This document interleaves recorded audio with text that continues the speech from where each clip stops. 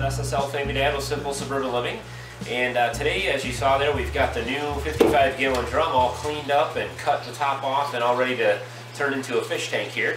Um, this is going to be the second fish tank in the system and this is going to be uh, where I'm going to start to have some tilapia. Um, I think I've decided on tilapia over perch um, and uh, this is where I'm going to kind of get the, the, the new fingerlings uh, started in here and then as they grow larger uh, I'll use both tanks to separate larger ones from smaller ones and all that kind of good stuff. Um, so wanted to add the secondary tank here. I didn't want to obviously mix them in with the goldfish and until I can get the goldfish moved outside to their uh, permanent home in the goldfish pond uh, we'll have to keep them separated here. So uh, all I'm going to be doing with this barrel is just using some bulkhead adapters to connect the two tanks together here with the bulkhead adapter in between. Um, I'll show you kind of how I'm doing that, how the ball bulkhead adapters work and how they install, and also show you how to use the uh, solids lifting uh, pipe piping that we're using here, all pretty basic stuff. Uh, we'll kind of go through that process and uh, see how it turns out.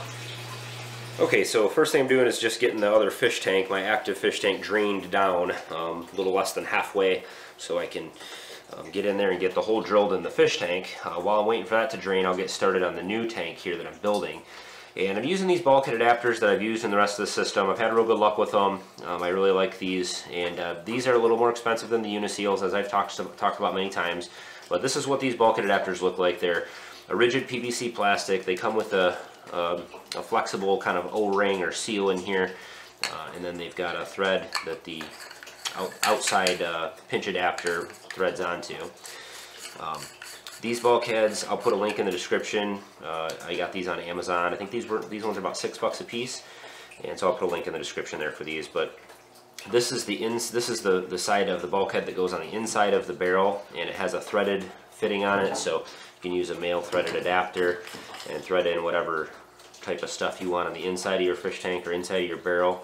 Um, I never, you know, glue any of the fittings on the inside of my fish tanks just because I don't want to take them apart or adjust things or change things on the inside and it's underwater so I obviously don't care if it's if it's leaking a little bit that doesn't matter um, since it's inside the tank and underwater.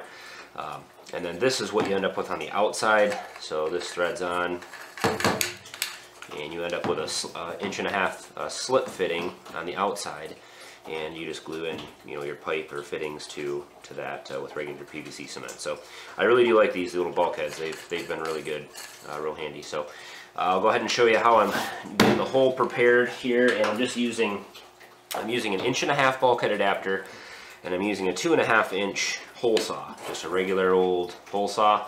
And I'm just to kind of make some measurements and mark my hole here, drill a nice clean hole through the PVC. I'll clean that up and then we'll get the bulkhead uh, mounted in.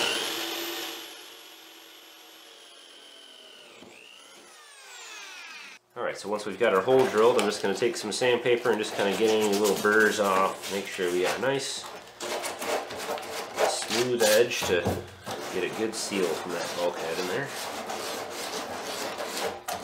Okay, so just for good measure, I always throw a, a bead of uh, waterproof or underwater um, silicone on the uh, bulkhead adapter just to make sure we get a, a nice seal there.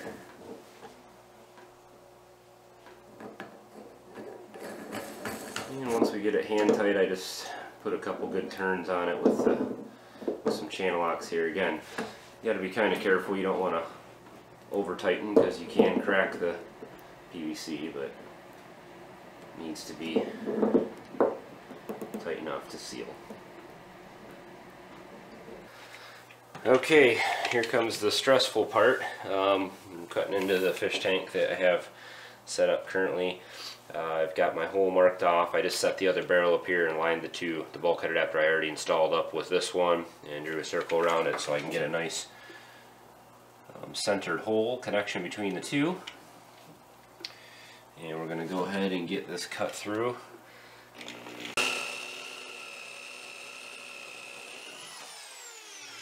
going to put the new bulkhead adapter in.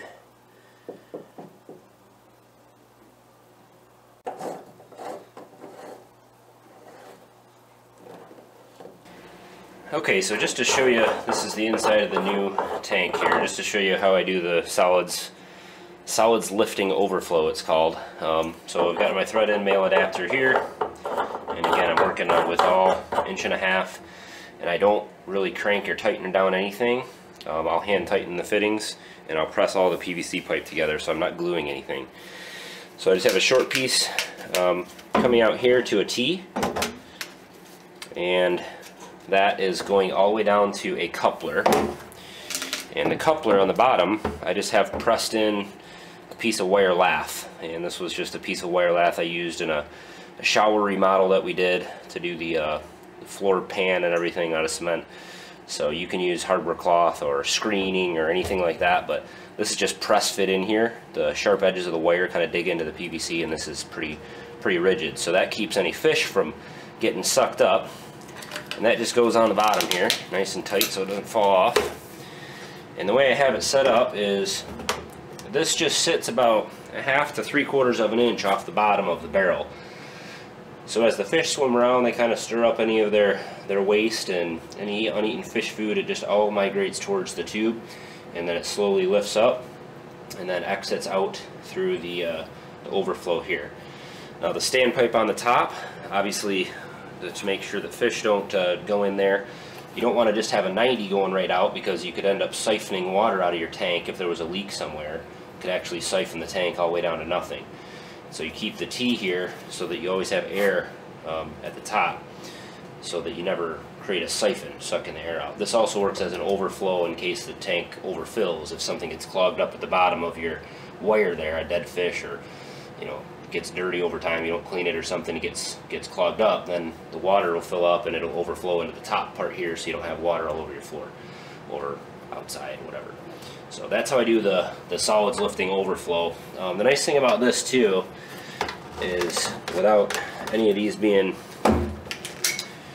uh, glued together, if I have uh, fingerlings in here, some real small baby fish or something, I can replace this with a smaller screen and then as the fish get older I can put a bigger screen on here so these are real nice to, to have.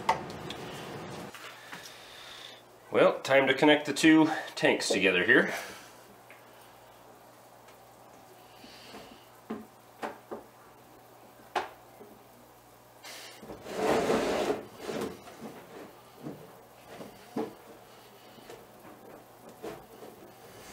Okay, just kind of give you an aerial view of the, the system really quick so you can kind of see from a, a, more macro standpoint here what I added and how everything's kind of working. So we've got the, the two fish tanks, the old one in the back there, and the dirty looking one, and then the new one here that we just added.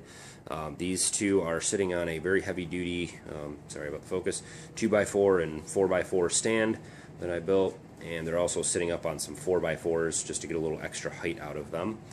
Um, so they're connected by the bulkhead adapters that we just added in here. So it's just a straight connection between the two. And inside we've got the solids lifting overflow. And again, so the water will kind of lift all the solids out and feed it right through here into this other tank. And I've got the, uh, there we go, um, pipe coming in right here. And then I just have a 90 shooting down. So any of the solids from that tank will kind of settle to the bottom of this tank, and then they'll come up the solids lifting overflow the bottom of this tank, which is right here, and then that comes out to the uh, swirl filter going in here, and as you can see that swirl filter is working very well and needs to be cleaned out. I haven't been able to keep up with it. I, I used it I used the waste there as fertilizer in the summertime on the gardens and everything outside, you know, almost every other day. Um, winter times come now and I've used it on some of our house plants and our indoor, we have an indoor orange tree and stuff like that, but uh, um, there's too much, so I'll have to dump some of that out to waste here and get this all cleaned up. But swirl filter's been working good. Water comes in here, swirls around, and then the clean water goes out to the grow beds. So, and I'll give you a quick look at the growth. I know I did an update last week, but basically all new products or new crops in here. Um, this is the spinach, doing real well. Still a little bit of uh, yellowing on the leaves, but um, my pH is still coming down in the system. It was at 8.2 uh, before I changed all the rock, and we're down to about 7.6 now. And so it, every week or two it drops a point. So, and I'm still trying to sprout some uh, some of those more of those bush beans in here. Seeds are too old or something. I'm having trouble getting them to sprout there. Peppers are doing real well, and it looks like I had a.